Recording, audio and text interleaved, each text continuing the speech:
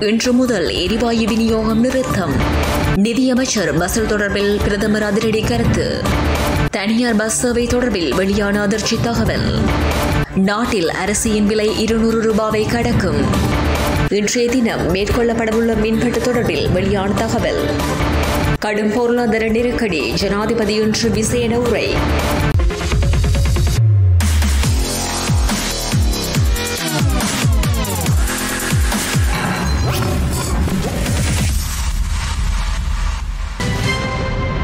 இன்று முதல் லிட்ரோ மற்றும் லேப்ஸ் நிறுவனங்கள் எரிவாயு விநியோகத்தை இடைநிறுத்த தீர்மானித்துள்ளன. போதுமான எரிவாயு இன்மை காரணமாகவே இந்த தீர்மானம் எடுக்கப்பட்டுள்ளதாக தெரிவிக்கப்பட்டுள்ளது. எனினும் அத்தியாவசிய சேவைகளுக்கு குறைந்த அளவிலான எரிவாயுவை மாத்திரமே வழங்குவதாக லிட்ரோ நிறுவனம் அறிவித்துள்ளது. அமைச்சரவையிலிருந்து நீக்கப்பட மாட்டார் என பிரதமர் மஹிந்த ராஜபக்ஷ அயர்லாந்து நாளிதழுக்கு தெரிவித்துள்ளார். சமீபத்தில் பதவி நீக்கம் செய்யப்பட்ட அமைச்சர்கள் இருவர் பசில் ராஜபக்ஷ நாட்டுக்கு தீமை ஏற்படுத்தக்கூடிய ஒருவர் என்றும் அவர் வெளிநாட்டு நிகழ்ச்சி நிரலின் அடிப்படையில் செயற்படுகின்றார் என தெரிவித்திருந்தனர். இந்நிலையில் அரசாங்கத்தில் அங்கம் வகிக்கும் பதினோரு கட்சிகள் நிதியமைச்சருக்கு எதிராக பிரச்சாரம் குறித்து அயர்லாந்து பிரதமரிடம் கேள்வி எழுப்பிய போதே பிரதமர் மேற்கண்டவாறு தெரிவித்துள்ளார். அத்துடன் அமைச்சர்களை நியமிப்பதற்காக நீக்குவதற்கான அதிகாரம் அதிகாரம். ஜனாதிபதிக்கு மாத்திரம் உள்ளது என பிரதமர் தெரிவித்துள்ளார். அதேவேளை தனிப்பட்ட விவகாரங்கள் காரணமாகவே நிதியமைச்சருக்கு எதிரான குற்றச்சாட்டுகள் முன்வைக்கப்படுவதாக தெரிவித்த பிரதமர் நிதியமைச்சருக்கு எதிரான பிரச்சாரத்தில் ஈடுபட்டுள்ளவர்கள் நாட்டு மக்கள் எதிர்கொண்டுள்ள பிரச்சினைக்கு தீர்வை காண்பதற்கான ஒத்துழைப்பை வழங்க வேண்டும்.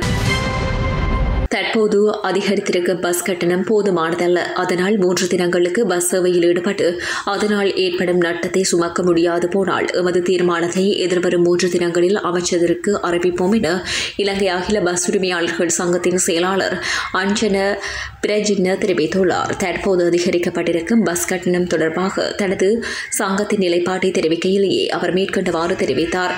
இது தொடர்பாக அவர் எரிபொருள் விலை அதிகரிக்கப்பட்டதை அடிப்படையாக கொண்டு பஸ் கட்டணம் அதிக அதிகரிக்கப்பட்டிருக்கின்றது. தற்போது அதிகரிக்கப்பட்டிருக்கும் கட்டணம் மூலம் நாங்கள் நாளாந்த எரிபொருளுக்காக செலவிடும் தொகையை கூட பெற்றுக்கொள்ள முடியாது. இவ்வாறு பயணிகள் போக்குவரத்து சேவையை தொடர முடியாது. இதனால் பஸ் சேவையை மேற்கொள்ளும் தொழிலாளர்கள் பாதிக்கப்படுவதை நிறுத்த முடியாது. பஸ் உரிமையாளர்களுக்கு தங்களுக்கு கீழ் பணிபுரியும் ஊழியர்கள் இருவருக்கும் சம்பளம் கொடுக்க முடியாத நிலை ஏற்பட்டிருக்கின்றது. அத்துடன் பயணிகள் போக்குவரத்து சேவையில் ஈடுபடுவதற்கு தேவையான எரிபொருள் நிரப்பு நிலையங்கள் இல்லை. அதனால் அதிகமான பஸ்கள் வீதியோரங்களில் நிறுத்தி நிறுத்தி வைக்கப்பட்டிருக்கின்றன. அதேபோன்று பஸ் கட்டணம் அதிகரிப்பு வழங்கப்பட்டிருப்பது லங்கா ஐஓசி நிறுவனத்தின் எரிபொருள் விலைக்கல்ல. மாறாக இலங்கை பெட்ரோலிய கூட்டு தாபனத்தின் விலை உயர்வுக்கு அமைவாகும் என்பதை அமைச்சருக்கு தெரிவிக்கின்றோம். அத்துடன் நாங்கள் பஸ் கட்டண அதிகரிப்பை அரசாங்கத்திடம் கோரவில்லை. மாறாக எரிபொருள் நிவாரணமே கோரியிருந்தோம். பஸ் சேவையில் ஈடுபடுவதற்கு ஒரு லிட்டர் டீசல் நூற்றி இருபத்தொரு ரூபாவுக்கு வழங்குமாறே நாங்கள் கோரியிருந்தோம். பஸ் டயர் ஒன்றின் விலை முப்பத்தையாயிரம் ரூபாவை தாண்டி இருக்கின்றது அப்போது எவ்வாறு இந்த தொழிலை முன்னுக்கு கொண்டு செல்வது. அதனால் தற்போது அதிகரிக்கும் பஸ் கட்டணத்தின் அடிப்படையில் எதிர்வரும் மூன்று தினங்களுக்கு சேவையில் ஈடுபட்டு அதனால் ஏற்படும் நட்டத்தை எம்மால் சுமக்க முடியாமல் போனால் மூன்று தினங்களில் நாங்கள் எமது தீர்மானத்தை அரசாங்கத்திற்கு அறிவிப்போம் என்று குறிப்பிட்டுள்ளார். இலங்கையில் அரிசிக்கான கட்டுப்பாட்டு விலையை நிர்ணயிக்க அரசாங்கம் நடவடிக்கை எடுக்காவிட்டால் அடுத்து வரும் சில வாரங்களில் ஒரு கிலோ அரிசியின் விலை இருநூறு ரூபாய் என்ற எல்லையை கடக்கும் என சிறு மற்றும் மத்திய அரசு அரசிய ஆலை உரிமையாளர்கள் சங்கம் தெரிவித்துள்ளது. பாரிய அளவிலான அரிசி ஆலை உரிமையாளர்கள் மற்றும் அரிசி உற்பத்தியாளர்களுக்கு சாதகமான வகையில் அரசாங்கம் செயற்படுகின்ற காரணத்தினால் இந்த நிலை ஏற்படுவதாக அச்சங்கம் குற்றம் சுமத்தியுள்ளது. நாட்டின் தற்போதைய நிலையில் அரிசிக்கு கட்டுப்பாடு விலை நிர்ணயிக்கப்பட வேண்டும் என அரிசி இறக்குமதியாளர்கள் சங்கம் தெரிவித்துள்ளது. அத்துடன் டொலர் நெருக்கடியால் அதிகரிக்கும் அரிசி விலையை கட்டுப்படுத்த நடவடிக்கை எடுக்க வேண்டும் என அந்த சங்கம் குறைபட்டுள்ளது. இதேவேளை அரிசி பொதியை செய்வதற்காக பயன்படுத்தப்படும் பையன் விலையை முப்பத்தைந்து ரூபாவினால் அதிகரிக்க உள்ளதாகவும் அதனுடன் தொடர்புடைய உற்பத்தியாளர்கள் தீர்மானித்துள்ளனர்.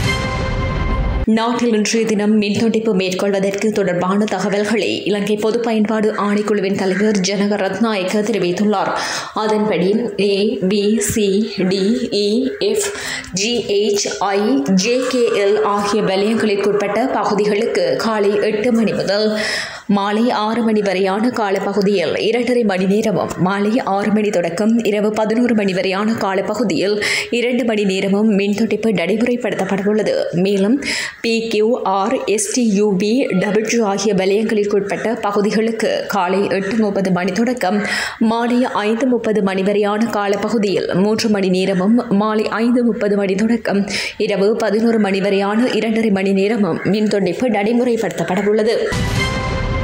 நாடு பாரிய பொருளாதார நெருக்கடிக்கு முகம் கொடுத்து வரும் நிலையில் ஜனாதிபதி கோட்டாபய ராஜபக்ஷ இன்று நாட்டு மக்கள் மத்தியில் விசேட உரையொன்றை நிகழ்த்தவுள்ளார். இதன்படி இன்றிரவு எட்டு முப்பது மணிக்கு ஜனாதிபதி நாட்டு மக்கள் மத்தியில் விசேட உரை நிகழ்த்தவுள்ளதாக ஜனாதிபதி ஊடகப் பிரிவு தெரிவித்துள்ளது. இதன்படி இன்றிரவு எட்டு முப்பது மணிக்கு ஜனாதிபதி நாட்டு மக்கள் மத்தியில் உரை நிகழ்த்தவுள்ளதாக ஜனாதிபதி ஊடகப் பிரிவு தெரிவித்துள்ளது. ஜனாதிபதியின் விசேட உரை தமிழர் இணையத்தில் நேரடியாக ஒளிபரப்பு செய்யப்படவுள்ளது. நாட்டில் உள்ள தற்போதைய உண்மை நிலையை ஜனாதிபதி மக்களுக்கு வெளிப்படுத்த வேண்டும் என்று எதிர்க்கட்சிகள் தொடர்ச்சியாக வலியுறுத்தி வருகின்ற நிலையில் ஜனாதிபதி ஊடக பிரிவினரால் இதுகுறித்து நேற்று தினம் அறிவிக்கப்பட்டுள்ளது. கடந்த ஒரு மாதத்திற்கு அதிகமாக டொலர் நெருக்கடியின் காரணமாக நாட்டின் சகல துறைகளும் பாரிய நெருக்கடிகளை எதிர்கொண்டுள்ளன.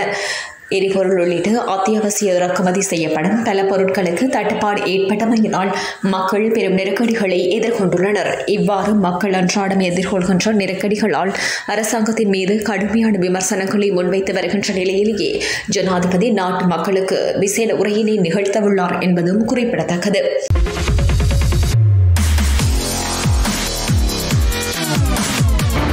இன்று முதல் எரிவாயு விநியோகம் நிறுத்தம். நிதியமைச்சர் வசூல் தொடர்பில் பிரதமர் அதிரடி கருத்து.